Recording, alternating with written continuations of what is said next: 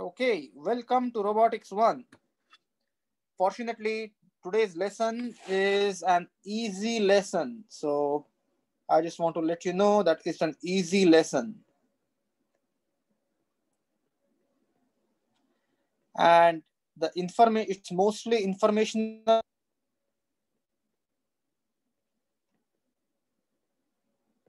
And we will talk about the sensors and actuators, but wanted to discuss this topic because the next topic, which is on motion control, would utilize some of these components. We could have some sensors, we could have some actuators like DC motor, we could have a hydraulic or pneumatic actuator.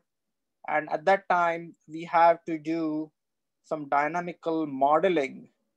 So it might be a good idea to get some theory information, some theoretical background uh, in this chapter. So when you talk about the actuators in robots, lot different types of actuators are used. You could have a linear actuator. So basically the motion is forward and backward, or you could have a rotary actuator. So you could have rotation. There could be electrical actuation. It could be hydraulic actuation. It could be pneumatic actuation. So you could have DC motors, AC motors. So you could have DC, AC, or you could have stepper motors, or you could have servo motors. You could have linear motors. Uh, in the case of hydraulic, you could have piston cylinder assembly. So cylinder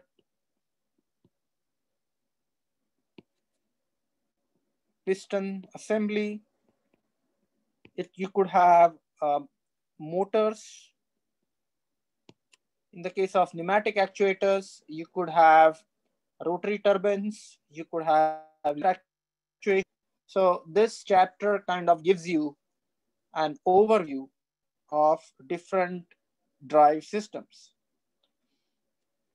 So in this chapter, we are going to talk about electric motors, hydraulic actuators, pneumatic actuators, and the where they are used, what are their advantages and disadvantages, how do you select a particular actuator.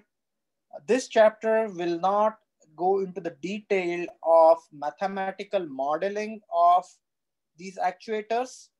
Next chapter, which is on motion control, we will study how to come up with the, the equations dynamical equations of motions for some of these actuators like DC motors and electrical uh, systems. So the, the idea be behind selecting appropriate actuator is you want that actuator to be quick to respond. So which means the time constant has to be low. You want that actuator to be super efficient you don't want a lot of power to be consumed in actuation. So you, do, you want friction to be minimum. You want actuator to be compliant at the same time stiff. You want the actuator to be rigid so that it does not bend, but you want actuator to give a little bit when there is some deformation uh, you want to compensate for. And then power to weight ratio for actuators is very important. Now, in the case of hydraulic actuators, it's the highest electric motors, it's medium and power to weight ratio is lowest for the pneumatic systems. And stepper motors, they are uh, used everywhere. For an example, if you look at the 3D printers in Innovation Hub, the 3D printers are powered using a stepper motor. Stepper motor run in open loop. So there is no feedback. So we will talk about open loop and closed loop systems. Now, one thing is uh, to quickly note the difference between the stiffness and compliance. Stiff systems are more rigid, but they and they do not deform. That, that is the reason why they are more accurate. So in other words, if you have a stiff robotic arm, that robotic arm will not shake or will not vibrate. It will maintain its shape. But you also want to make sure that under load, that robotic arm is capable of giving up a little bit because if there is a sudden drop of the weight, you want that energy to be absorbed in the robot arm. If that robot arm is super stiff, then Uh, what will happen is if all of a sudden there's a shock load, then rather than that energy getting dissipated, the robot arm would simply crack. And you don't want that to happen. So you want to add selective compliance either at the, the frame or at the joint. Many a times, what we do is we actually use reduction gears. So what we have is we have a drive gear and we have a driven gear. And the speed of the drive gear is N1, speed of the driven gear is N2, N1 is significantly greater than N2. So N, which is the reduction ratio, is nothing but N2 divided by N1. And the reason we want that is reduction in speed gives you increase in torque. So torque and speed, I just want to give you this simple example. Think about power power is given as torque multiplied by speed. So this is torque and this is speed. So if you have a DC motor that is maybe running at 10 watt, but it is rotating at 10,000 RPM. So if the DC motor is 10 watts, but running at 10,000 RPM, and if you have a huge reduction ratio, if you have a huge reduction ratio, what you can do is you can get amplification in torque. Because check this out, T1 omega 1 is equal to T2 omega 2. As omega 2 drops down, value of T2 goes up. And that is why we use the gear or reduction ratios. Now, this gives you a list of or the bullet points for comparison of hydraulic actuators. So usually they are used in large robots, highest power to weight ratio, then they have low compliance, but you need additional subsystems like accumulator, pump, filter, and so on. You need hoses. The system could leak so that is the, the advantage and disadvantage of hydraulic actuators. On the other hand, if you look at the electrical system, usually they are good for all size of robots. They do not leak. They are spark free. There is low stiffness, but you have to be careful about designing the control system because you will have additional effect like backlash, reduction gears, and so on. So you need to be aware of the dynamics and your controller should be able to control the system appropriately. If you have a pneumatic system, uh, pneumatic systems are usually lightweight. The air pressure is low, but again, you need uh, a sort of a compressor, accumulator, you need a filter, and then unfortunately it has lowest power to weight ratio. Now, hydraulic actuators, there are there is an equation that you should be remembering is force is equal to pressure multiplied by area. So if you add some pressure, pressurized fluid, then that pressure multiplied by area is going to give you the force. And if you want to find out the flow rate, flow rate dictates the speed. So for an example, if the flow rate is Q, Q is equal to area times velocity. So if Q is increased, the area of the actuator is usually constant. So velocity gets increased. These are the different components of hydraulic system. You could have all the way from actuators to sensors to filtering system to pumps. And then I, if you think about a hydraulic system, the, the braking system in your car or the power steering system in your car is a hydraulic system. The hydraulic system typically looks like, this is something similar to your power steering system, wherein you have an actuator. As you turn your steering wheel, additional force is provided by the actuator. And there is actually a servo valve that controls the amount of fluid and the flow or the flow rate of the fluid so that the steering is smooth. So you will have power unit, you will have return valves, you will have a, a controller, you would have some sort of displacement measurement sensor. For pneumatic devices, uh, it's very similar. The only thing is usually the air is discharged into atmosphere. So unlike hydraulic system, wherein you have a central tank where the hydraulic fluid, such as oil, is stored. In since in case of air, you would just have a tank that is at high pressure, but once the air uh, does its work, it's exhausted to atmosphere, and leakage usually is not a problem. Now, electric motors, you are familiar with electric motors. There are different types of electric motors like AC, DC, stepper motors, you have direct drive and brushless DC motor. The idea or the principle behind electrical motors is very simple. Imagine if you have permanent magnets, north and south, and you have a current carrying conductor. A current carrying conductor inside a magnetic field experiences force.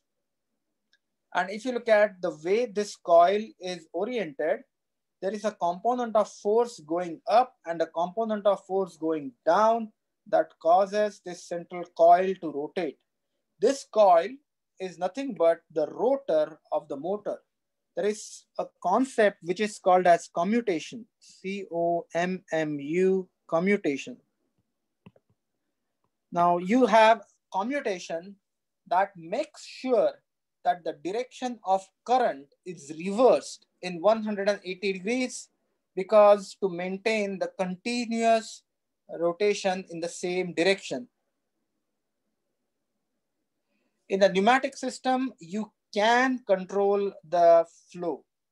So you could have an orifice that would control the flow of air.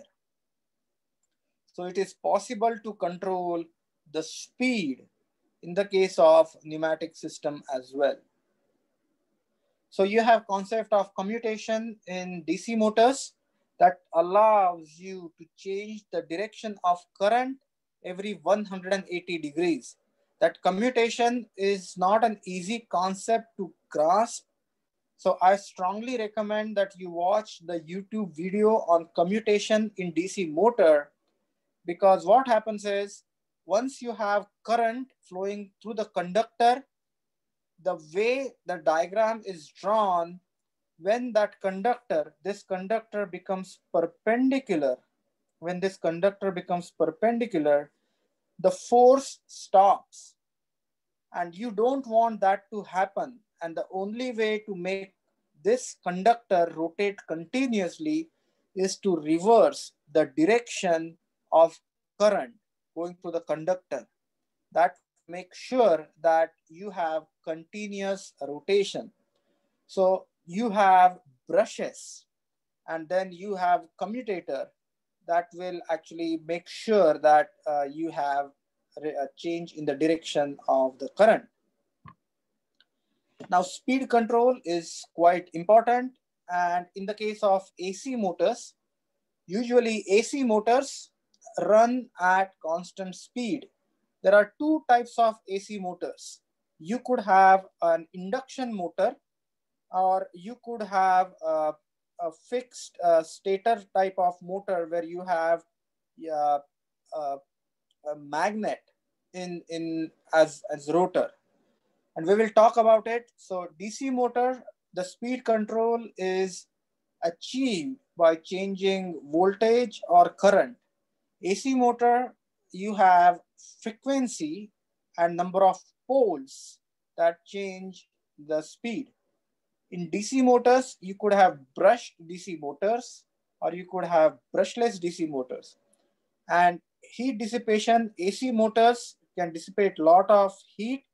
So nowadays, if you look at the motors that are used in your air conditioning units, your pool pump, they are mostly AC type motors. How do you how do you uh, see if I mean uh, looking at the motor, how, how can you decide whether the motor is AC or DC? Typically, AC motors would have capacitors, start cap and run cap. Those ensure that there is a phase difference that is needed for the rotor to start rotating. So that is super important. Now in uh, heat dissipation, AC motors can supply a lot of uh, uh, power and clearly because of the power requirements, they have to dissipate a lot of heat and they are capable of dissipating lot of heat. Now, if you look at the heat dissipation path for the AC and DC motor, usually what you have is you have the air gap, uh, then you have permanent magnets and the body. All these components, they act, they, they, they transfer the heat. Uh, and again, in AC motors, the heat is majority of it is generated not in the rotor, but it is, is generated in the stator. Now, heat generation in motor is typically the function of uh, I square, the current uh, passing through the coil, uh, multiplied by the resistance of the coil. So you typically have I square R losses. And again, you could have change in the resistance value as the winding uh, gets heated up because of the resistance. Now, strength of the magnetic flux, unfortunately, is negatively affected by heat, which means if the motor is running hot, then the effective power or effective torque that is generated, that gets decreased. That's why, that's why you will see a lot of times these motors on the same shaft at the end has a fan and that fan actually flows air over the motor coils. So, so to dissipate the heat. Now DC motors, they are very commonly used. They are reliable. The stator, there are two types of DC motors. You could have a permanent magnet DC motors or you could have electromagnet DC motors. So in the case of permanent magnets, you could have rare earth magnets or neodymium magnets that are inside the stator. And the rotor is coil, and then you have commutator, brushes, uh, contactors that pa they pass the current through the rotor. And then because of the electromagnetic interaction, the rotor starts rotating and commutation is really needed to change the polarity. So change the direction of the current so that the rotor continues to rotate continuously in the same direction. If you look at the, the torque characteristics, the torque characteristics of the DC motor is given as KT divided by R V KT square divided by R. So if you look at uh, this equation, you would notice that as the voltage changes, this is actually omega, as the voltage increases, the torque provided by the motor increases. But as the speed increases, the, the torque decreases. So basically you have this torque equation that is used to find out the relationship between the speed and the torque and the voltage.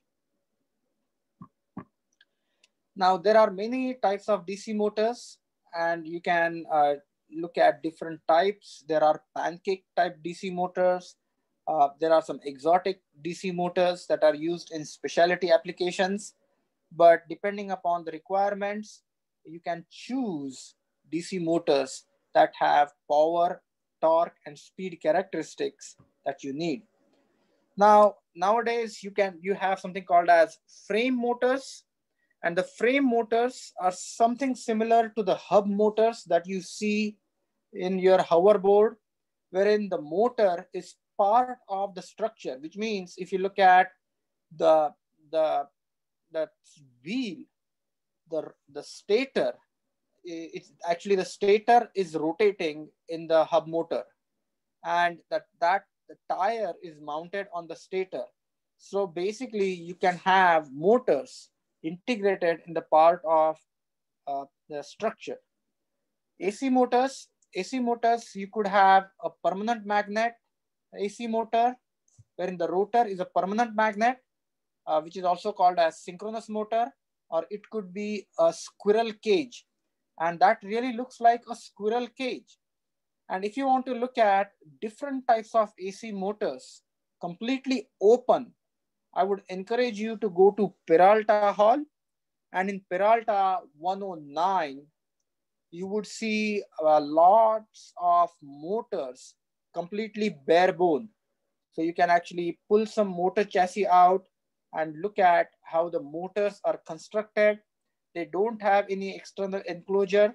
They just have plexiglass cover. So you can see those motors and you will see that how those motor windings are constructed.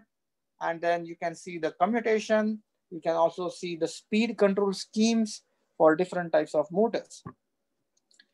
Brushless DC motors, if you are into RC cars, then you are probably, or RC airplanes, or, uh, or the uh, rotorcrafts or quadcopters, you probably are aware of brushless DC motors. The biggest advantage of brushless DC motor is absence of brushes. That gives them long life and uh, basically they act as similar to AC motors and you would have a phase control. So you can actually control the PWM uh, using uh, some sort of a PWM controller that would control the electronic speed control that actually controls the speed of the brushless DC motor. And brushless DC motor, yeah, usually they have three wires coming out. It's a three phase. So what happens is electronic speed control takes a DC voltage and then converts that into an alternating varying voltage that is continuously supplied. And then that is how you actually energize the winding and that causes the rotor to rotate. Now you can also have, it depends upon the motor design. The important aspect is efficiency if your motor is efficient, then despite of the same size, uh, it will consume less current for the same amount of torque. So motor efficiency is important factor. But AC motors, because of their ruggedness uh, and simple construction, almost no maintenance are widely used in consumer applications. However, if you look at, uh, unfortunately, the precision motion control with AC motors is not possible. So if you are, if you look at the CNCs, or if you look at the, the precision control robots, they will use DC motors. In the direct drive DC motors, they are similar to brushless DC and they can deliver large torque at low speeds and basically they are used in specialty applications. In servo motors, the idea is you have servo motor has a feedback. Now we will talk about different sensors. So say you have a DC motor. I'm gonna call this a DC motor. And I add an encoder at the end. So encoder. So, and what I do is I get the input from the encoder to a controller and this controller controls the speed of the DC motor. So this is a controller. So this becomes a servo motor. And again, it doesn't really have to be DC motor. If you have an AC motor and if you have a very sophisticated controller, control of AC motors is not that easy. So if you have a sophisticated controller, then what, and if you add an encoder to it, it can also act as a servo motor. But feedback is the key component of servoing. So whenever they say it's a servo, usually it means that you have some type of sensor that is measuring the output of the motor. It could be the displacement if it's a linear motor, it could be rotation, it could be if uh, using encoder or resolvers or some, some other sensor. Now, this is again the torque versus speed characteristics of servo motor. And I want you to notice that the schematic of a servo motor. So here, what you see is this is an encoder. And encoder has actually, if it's a Hall effect type encoder, it will have five wires. And this is the control, uh, the, the actual motor wires. And if you look at the schematic, you will have a feedback system.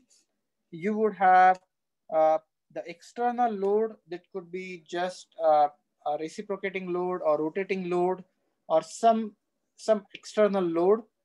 And what you do is you come up with a transfer function or equation of the motion of the motor and use a controller algorithm to control the motor. And we will talk in detail uh, about different types of controller algorithms. What do we mean by proportional, integral, and derivative PID control? Then we will talk about pole placement. We'll talk about root locus, different controller schemes that are used for motor control.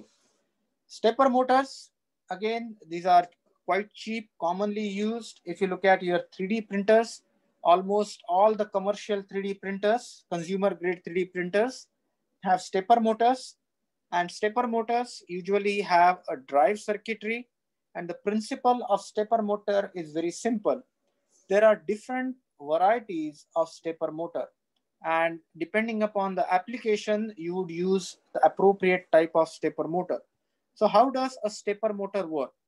In stepper motor, you would have a ferromagnetic core. Say for an example, you see the core over here. And what happens is you have stator with coils. Depending upon what type of motion you want, you energize the coil. So in this particular case, the top coil is energized to become north pole and the bottom coil is energized to become the south pole. So the rotor gets aligned where north to south uh, combination is achieved. So think about it to begin with, if this rotor is at uh, arbitrary position. And as soon as you energize the coils, the rotor will get aligned. Then what you will do is you will excite the horizontal coils. So the rotor would now get aligned horizontally. If you were to excite both the coils at the same time, then you will realize that this rotor will be in between. Could achieve uh, micro stepping, whereas the rotor the, can actually micro step. It's not a full step. Uh, so, and you can actually have this uh, external coils energized in a proper sequence. You could make this rotor run very fast. So what you will do is you will in sequence energize these pairs of stator coils that would make sure that this rotor is rotating from zero degrees to 45 degrees to 90 degrees to 135 degrees uh, to 180 degrees and it will continuously rotate.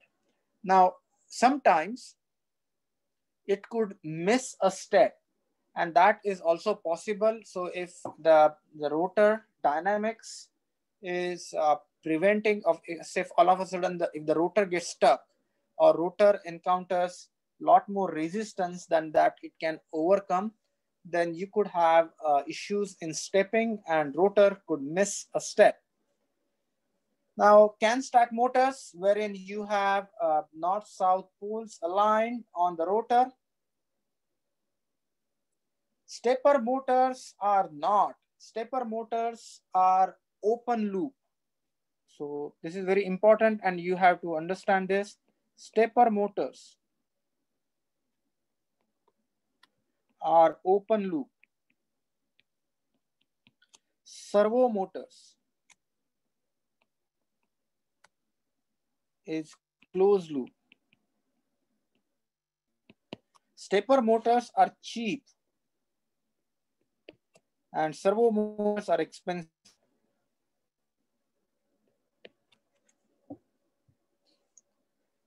And if you have a brushless DC motor, if brushless DC motor does not have a feedback, if brushless DC motor does not have a feedback, there is no way to control the motion of the brushless DC motor.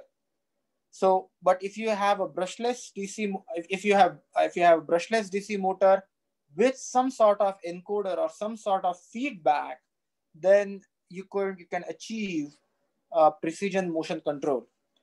But with a stepper motor, the good news is even though they are running in open loop, usually based on the microcontroller excitation pulse signal, you can fairly easily control the number of steps. So you can have that motor go from zero degrees to 10 degrees to 15 degrees to 40 degrees. But again, that is purely running in open loop. So stepper motors can be used for the robotic applications, but for precision robotic application, you would always use servo motors. Now, if this is one way uh, a stepper motor is constructed, so you can see the rotor with multiple north-south poles and you have stator windings and here you have a lot more stator windings so you can have a finer resolution. Now you could have a hybrid stepper motors wherein you could have uh, two independent windings, you can have a center tap, you can have a permanent magnet rotor, you could have a ferromagnetic rotor. So there are lots and lots of variations in stepper motors. And you can actually see uh, information online that will talk about different types of stepper motors and their applications. So how do you, how does a stepper motor work? So in the case of stepper motors, uh, what you want to do is if you want to use them as calipers, wherein you want to have ultra precision linear motion control, then what you can do is you could have alignment of divisions. And the alignment of divisions that is dependent on the linear motion. So, and the magnitude of the flux and the excitation dictates whether you are going to have a, a micro motion or a macro large motion. And that way you can use hybrid stepper motors for uh, linear motion. And then you can actually use different type of switching schemes. If you want to have full step or half a step, and that again depends upon the type of controller and the microcontroller that you use. Usually you, you will have a stepper motor driver, a dedicated integrated circuit that is capable of driving stepper motor and you can actually uh, write a microcontroller program. You could have an Arduino controlling the stepper motor driver and the stepper motor driver is in charge of energizing particular winding or uh, de-energizing particular winding. There are again various uh, differences between the unipolar, which has just one winding, bipolar and bifilar stepper motors. So you could have uh, one power source, you could have two power sources, or you could have center tapped stepper motor. And depending upon how the coils are connected with each other, how the coils are energized, the characteristics, power and torque characteristics of stepper motor, they vary. And there are different windings and some windings are shown over here, wherein you have a four lead winding, five lead winding, six lead winding, and you can energize them together or energize them separately. And that dictates how the stepper motor torque versus speed characteristic is going to change. For an example, in the case of stepper motor, uh, you would have the torque versus speed characteristic as shown in the picture. The plot shows the star, uh, torque versus speed characteristics. Good news about stepper motor is something called as the holding torque, which means you can actually stop the rotor of the stepper motor at some mid orientation. And as long as the strength of the magnetic field is capable of resisting the external load torque on the stepper motor, stepper motor will have hold torque. But unfortunately, as the speed increases, the torque developed by the stepper motor decreases. So for an example, in the case of 3D printer, what you want is you want uh, the lead screw to rotate clockwise, counterclockwise, clockwise, counterclockwise at different speeds. Stepper motors are perfect for that. So you can actually have the nozzle go up and down or the base plate go left or right. And you can have the whole thing in sync so that you can 3D print the part that you, you have uh, created. Speed reduction is an important aspect. There are various speed reduction devices you could use gear train. For example, you can use a planetary gear train, or you could use some sort of uh, harmonic drive wherein you have a little bit of compliance uh, in the stator and rotor that actually creates significant reduction in uh, uh, uh rotational ratios. You have to be careful about different types of gears to be used if you are interested in how to design different types of gears, uh, what are their advantages and disadvantages, coming spring, I'm teaching a class which is called EGR 445. And in that class, I will talk a lot about different types of gears, how to design worm wheel, how to design uh, spur gear, design helix gears, how to design bevel gears, what are their advantages and disadvantages. So we will spend a lot of time in EGR 445 that talks about the, the, the gear and different types of gear designs. Now, the next part is we are going to talk about, uh, we will talk about the mathematics of gear reduction. Yes, it is offered every spring semester. Uh, in next class, but I just want to tell you there is another interesting device which is called as the harmonic drive. And in the case of harmonic drive, if you look at the stator and the rotor, uh, the you have this sort of elliptical shape, which is that is called as uh, the wave generator. Wave generator is sort of an elliptical shape that rotates, and be, as it is rotating through the stator coil, it kind of steps back every rotation. And this stepping back causes a significant reduction in ratio, gear ratio. And it's very difficult to explain the principle of harmonic drive. But if you look at a YouTube video of harmonic drive, you will exactly see what happens as the rotor is rotating.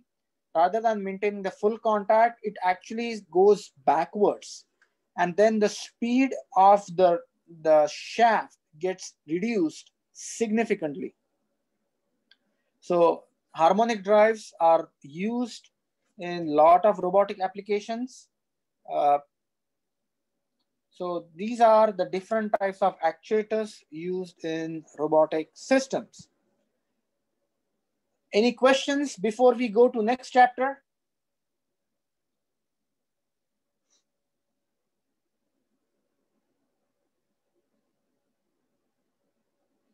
Okay, so next chapter. Yeah, what's your question, Ba?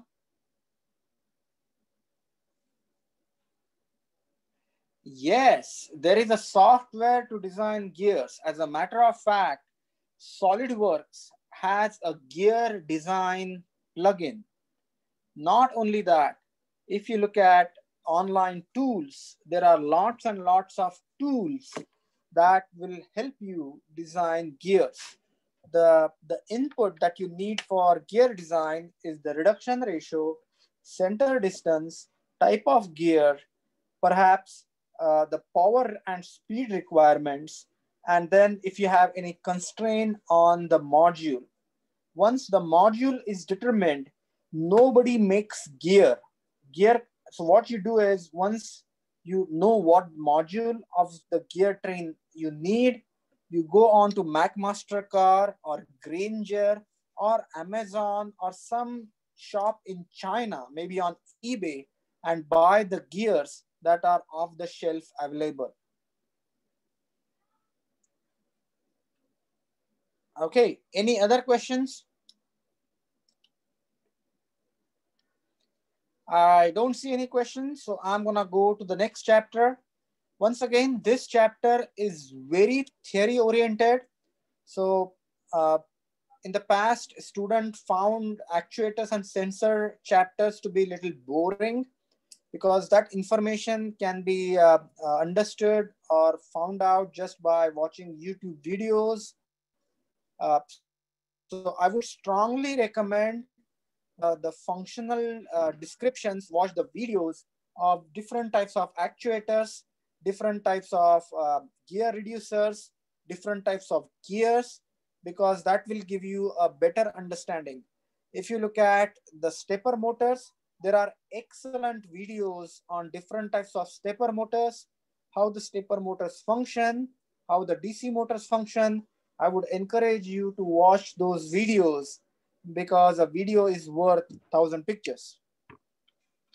So in the case of sensors, uh, we we use very many types of sensors and most of you are familiar with different sensors because you have used them as part of your project classes. There is a position sensor, uh, there is velocity sensor, there is force sensor, touch sensor, tactile sensor, proximity sensor, range finder, vision sensor.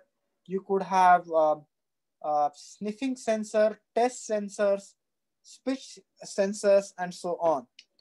So the important characteristics that we look for in good sensors is size, weight, cost, what type of output is sensor able to provide, DC, AC, frequency, PWM. The other important uh, characteristic of sensor is a range. So what is the range of the sensor what is the resolution of the sensor. And all that information is super useful when we select the appropriate sensors. Now, what are the important sensor characteristics? Sensor characteristics are sensitivity, which is the ratio of output to input. For example, if you have a weighing scale, you want to have some sort of relationship between the weight and the output. That output could be maybe the voltage, or that output could be the mechanical motion, or that output could be the, the ADC counts. So that is the sensitivity. Linearity means is output linear to input or output is nonlinear. So you want to have sufficient range. You want the sensor to respond quickly it should have low time constant. Then the sensor should have bandwidth. For example, you cannot use a tire pressure gauge to measure the pressure inside an internal combustion engine because the, the internal combustion engine pressure is varying super duper fast. And clearly, the tire pressure gauge does not have enough bandwidth to, uh, to compensate or to get the measurement accurately. Now, the next thing is reliability. And then how do you, how, how reliable the system is? Do, does it give you the same output again and again for the same input? How accurate the system is? How repeatable the system is? And you want to have a system which is accurate and repeatable.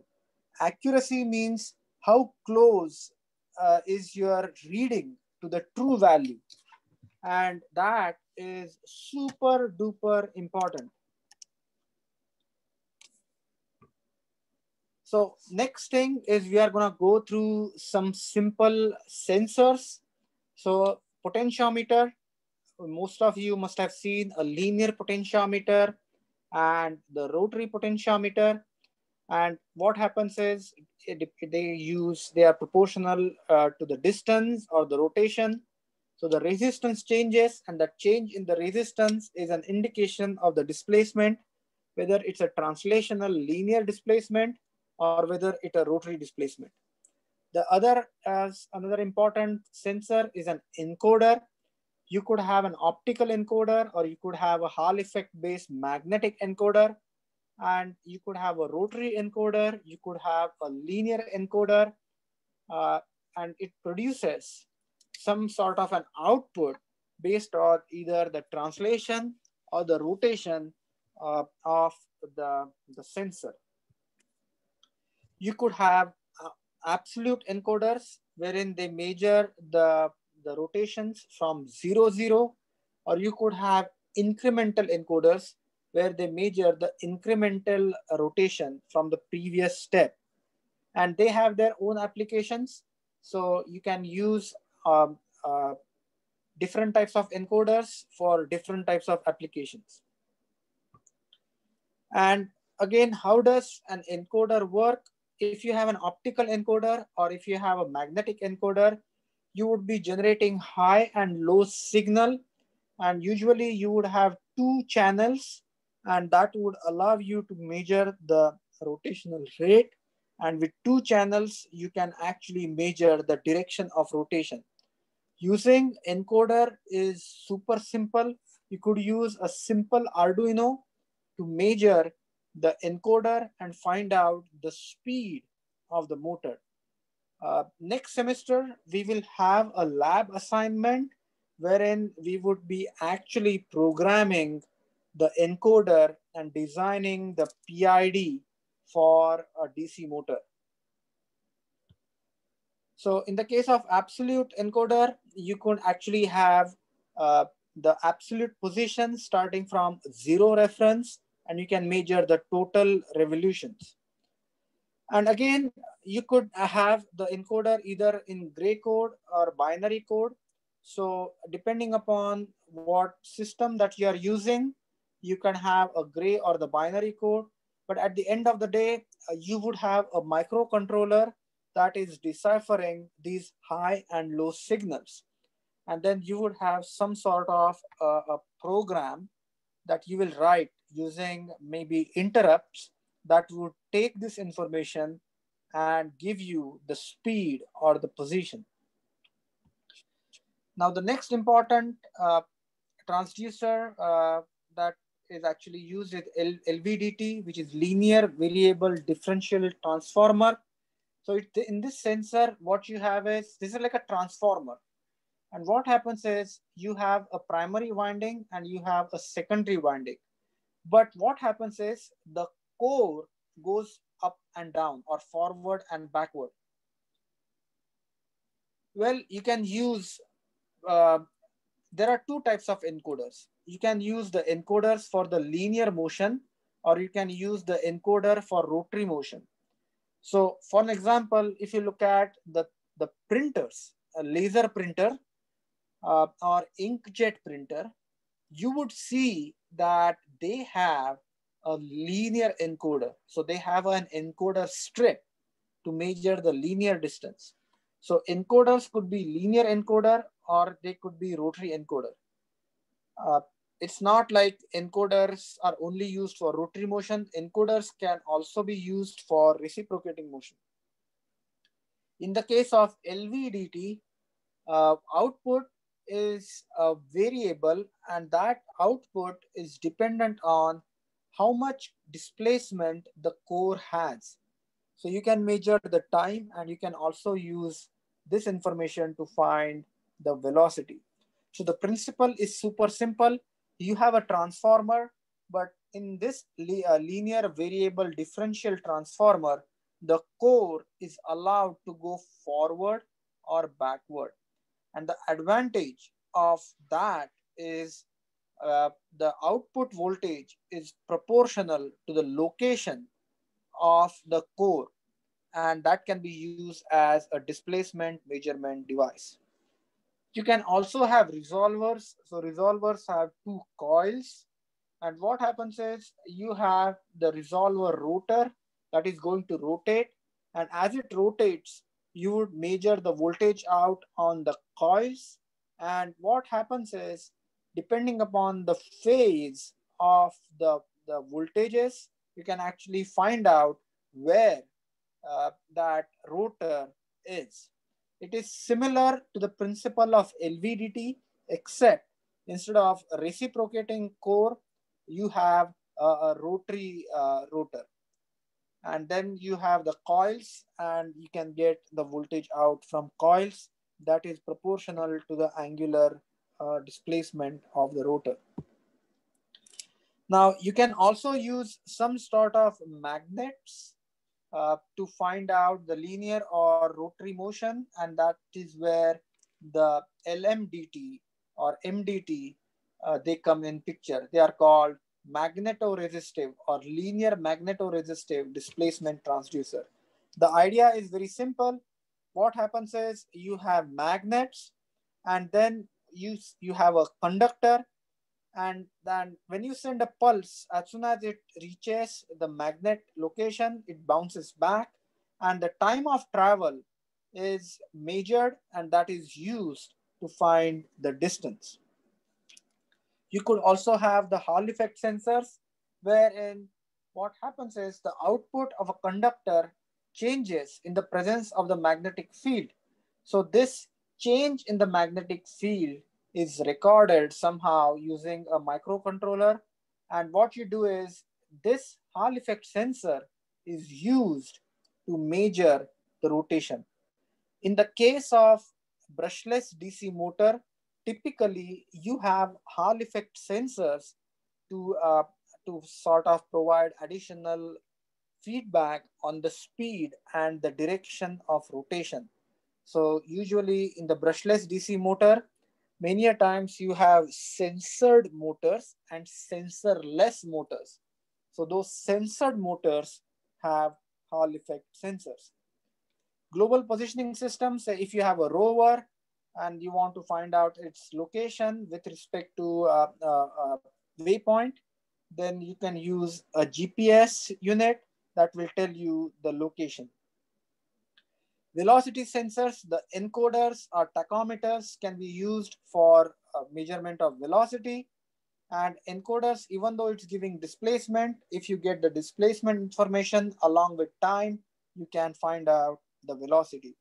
Tachometers, again, can work on different principles. Some of them work on the principle of magnetic induction, wherein the electrical current uh, generated is proportional to the speed, and then it's similar to a DC motor, and then you can use that information to find the speed. Now, what you can do is, if you have a velocity sensor, and if you want to measure the displacement, you can run it through a differential uh, amplifier. The differential amplifier is nothing but a simple op amp that is going to find out the difference between uh, the two successive measurements.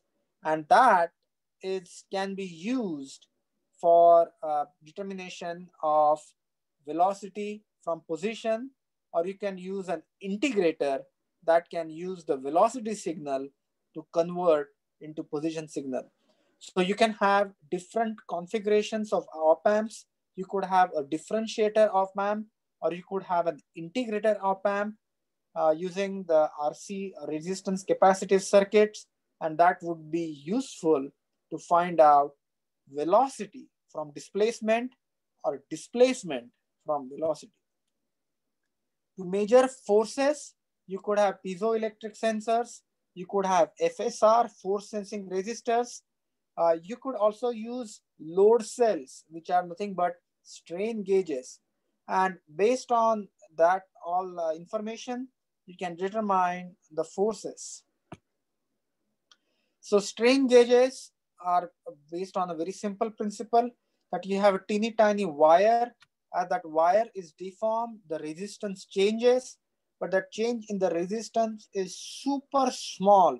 So you need some sort of amplification circuit. Typically a Wheatstone bridge is used as an amplification circuit that will take the change in the resistance and give you a change in the voltage. This change in the voltage is proportional to the applied force. In the case of torque sensors, you could have multiple strain gauges that are placed at the strategic location.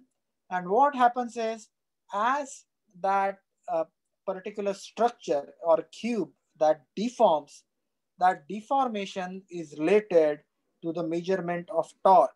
Again, the fundamental principle is the equation in torsion T divided by J is equal to uh, G theta divided by L. Now I need to write this down.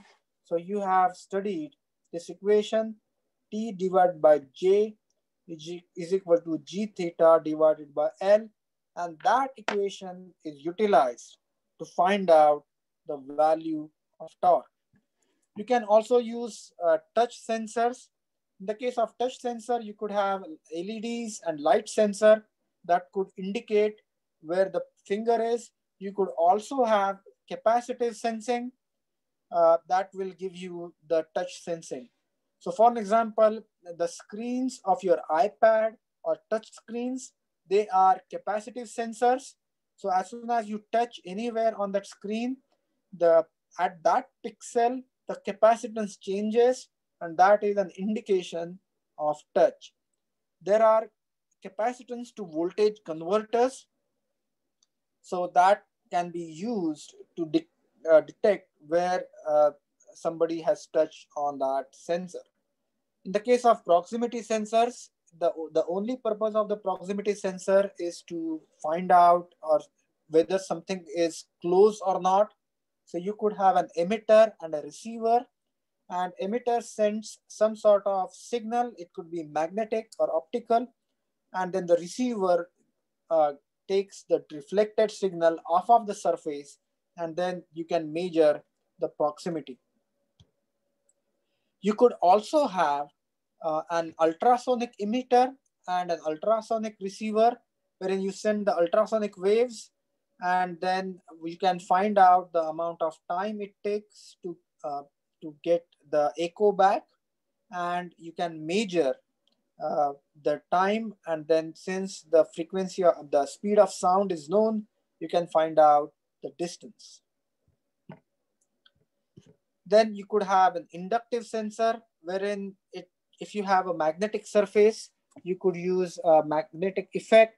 And as soon as you have a surface coming close to that magnetic sensor, uh, the sensor triggers on. You could have capacitive sensor. You could have an eddy current sensor. Uh, depending upon what proximity sensor you have. For an example, if you have an ultrasonic sensor or ultrasonic rangefinder, you may just need one sensor. If you have, uh, for an example, uh, just a magnetic proximity sensor, then to find X and Y location, you need two proximity sensors. Then range finders, they could be optical, they could be uh, uh, ultrasonic, and the idea is you, or they could be laser. So LiDAR uh, that are used in driverless cars, they are also part of this to find hole on a surface.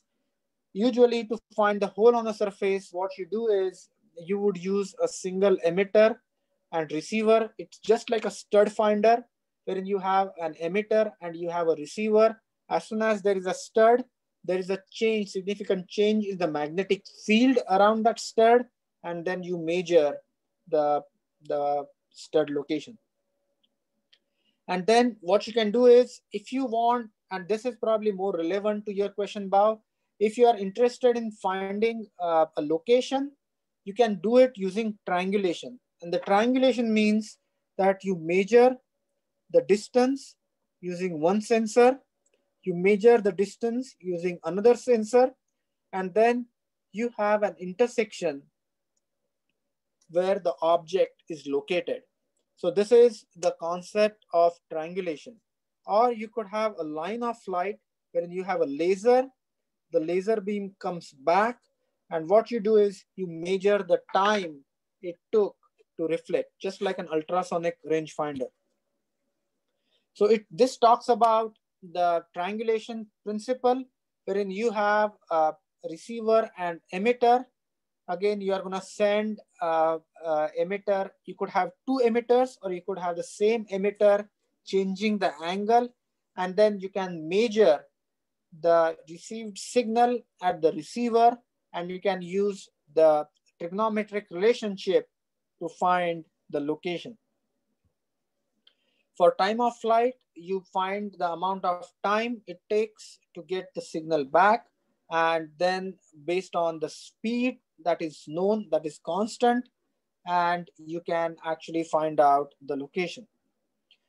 Ultrasonic rangefinder, we just talked about it. So you have emitter, receiver, and you measure the amount of time it takes for the sound to be reflected. Now, these are the, the range finders. These are LiDARs. They are typically used in uh, uh, driverless cars. So if you see a, a Google car or a Waymo car, you will have a big dome. The LiDAR is running on the top. You would have two small LiDARs on the side and two LiDARs in the back.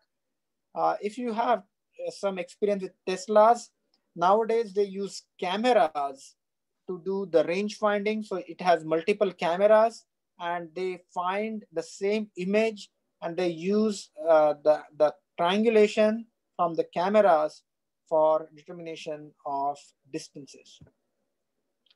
Voice recognition typically used uh, using uh, done using the uh, signal processing and speech synthesis and this is a huge area of research and all of us are familiar with Alexa, Siri, Google.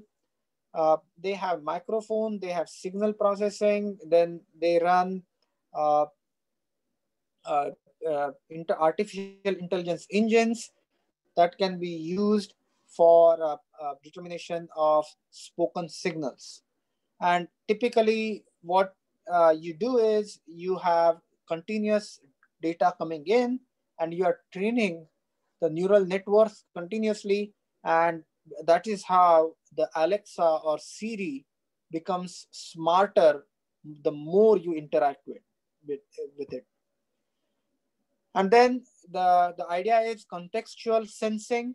So understanding the context uh, or the the hidden meaning in the sentences. And that is done using based on the large databases uh, and AI, deep learning, and neural network. Now, this is something that is uh, sometimes used in positioning. So what you have is you have a, a pivot and here, so if you have an accurate alignment, then you don't need a pivot, but imagine there is slight misalignment. So you want to accommodate for this misalignment. So you would allow this pivot to kind of translate and rotate a bit. And when you allow that compliance, the assembly is easier.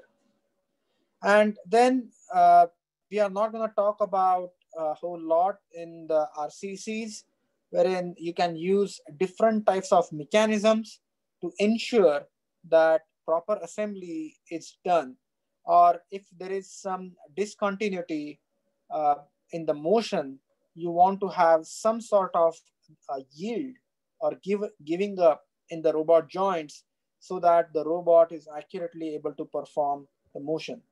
I would encourage you to look at these different compliance devices that are used in assembly operations. Uh, and because of the tolerance, tolerance stacks, you could have slight um, uh, changes, variations, and these devices are allowed that they allow us to uh, compensate for those tolerance stacks or variations. So with that, we are done with uh, chapter 9 and chapter 10.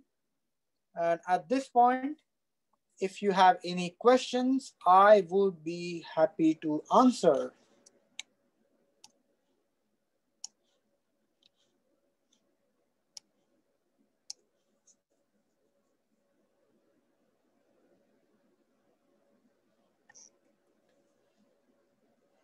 Okay, Travis, you had a question?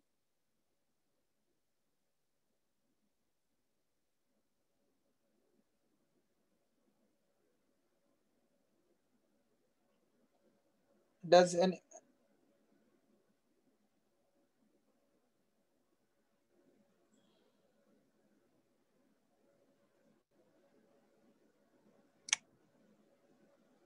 Oh, Euler to rot.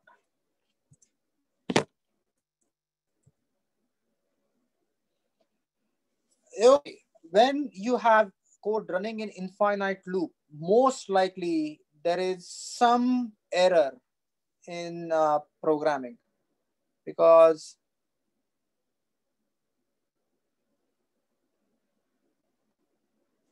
yes, Asjad had the solution for the earlier homework and as discussed in earlier class, if you email Asjad, he should be able to send you the solution.